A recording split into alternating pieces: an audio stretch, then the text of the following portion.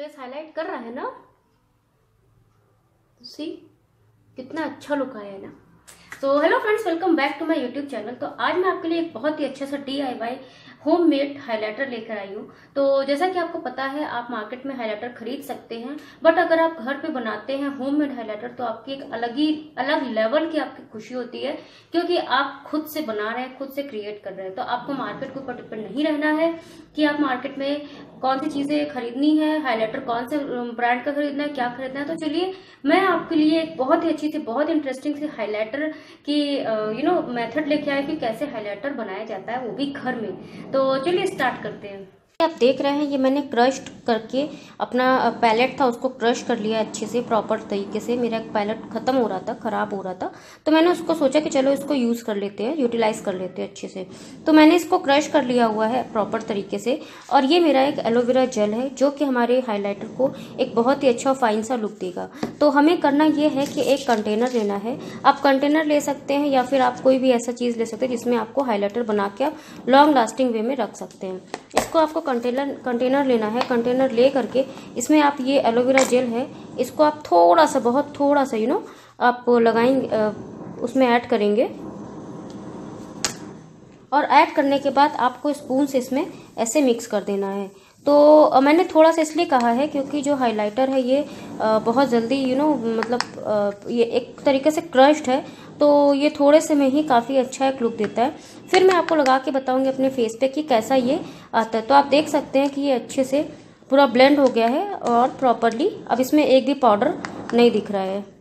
तो क्योंकि ये हैंडमेड हाइलाइटर है तो आप देख सकते हैं कि ये एक थोड़ा सा ऐसा लुक आ रहा है इसमें। क्रीमी सा आ रहा है, ठीक है? मैटे से लुक आ रहा है। तो मैट से लुक देख सकते हैं। ये जो क्रश था, उसको मैंने एलोवेरा जेल में प्रॉपरली इसको मिक्स कर लिया है। तो चलिए अब इसको फेस पे लगाते हैं और आपको दिखाते हैं कैसा लगता है। फ्रेंड्स आप देख सकते हैं, ये हाइलाइटर मैंने बनाया हुआ है। बहुत थोड़ा सा बनाया है, क्योंकि मैं डेली इतना मेकअप यूज़ नहीं करती और डेली मैं हाईलाइटर यूज़ नहीं करती। तो फ्रेंड्स आपने देखा, मैंने इस तरीके से अपने फेस पे, अपने चीक्स पे लगाया है और हल्का सा ले करके इसको बस ऐसे ब्लेंड करना है। आप चाहो तो ब्लेंडर का भी यूज़ कर सकते हो और चाहो तो आप इसका भी यूज़ कर सकते हो। आप देख सकते मैंने थोड़ा सा लिया था और इसका यू नो लुक देखिए। और मैं आपको एक टिप्स देती हूँ। जब भी आप हाइलाइटर लगाओ ना तो ऐसे स्माइल करके। क्योंकि क्या होता है कि ये जो आपकी, जो चीक्स एरिया होते हैं ना, इसको हाईलाइट होने चाहिए। तो आप देख सकते हैं, मैंने हल्का सा लगाया और इस पर कितना अच्छा सा लुक आ रहा है, एक फाइन सा। और हल्का सा नोज़ पे भी। ये ब्लेंड होने के बाद आपके फेस को एक पिंकिश सा लुक देगा। तो फ्रेंड्स ये रहा आज का हमारा वीडियो और आप देख सकते हैं मेरे फेस पे कि आ, कितना अच्छा सा एक यू नो एक पिंक सा लुक आ रहा है फाइन सा। और नोज़ भी हल्की सी हाईलाइट हो रही है क्योंकि नोज़ से मैंने हल्का सा लगाया था।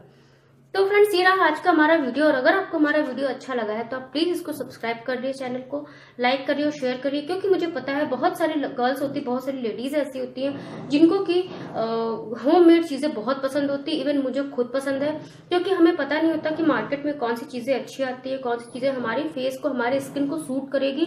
तो क्योंकि अगर हम उसको घर में बना रहे हैं तो अपने स्किन के अकॉर्डिंग अपने स्किन टोन के अकॉर्डिंग हम इसको अपने अकॉर्डिंग कन्वर्ट कर सकते हैं। तो फ्रेंड्स आप मुझे बताइएगा ज़रूर इसका कमेंट बॉक्स में कि आपको ये मेरा highlighter homemade highlighter DIY highlighter कैसा लगा। तो चलिए तब तक मिलते हैं हम आपसे एक नए वीडियो